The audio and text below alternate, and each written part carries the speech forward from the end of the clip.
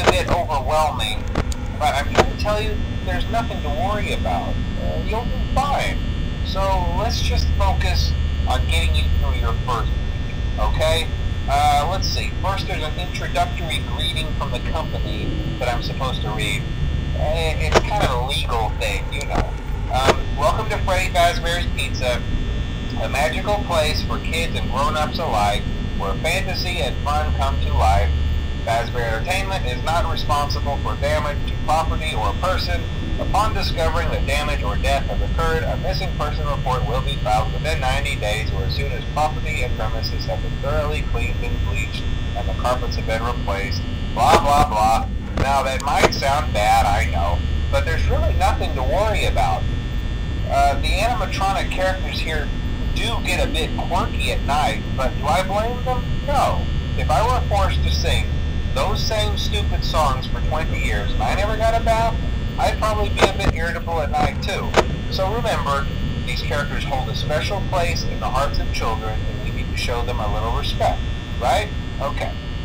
So just be aware, the characters do tend to wander a bit. Uh, they're left in some kind of free roaming mode at night. Uh, something about their servos locking up they get turned off for too long. Uh, they used to be allowed to walk around during the day too, but then there was the bite of 87. Yeah, it's amazing that the human body can live without the frontal lobe, you know? Uh, now, concerning your safety, the only real risk to you as a night watchman here, if any, is the fact that these characters, uh, if they happen to see you after hours, probably won't recognize you as a person.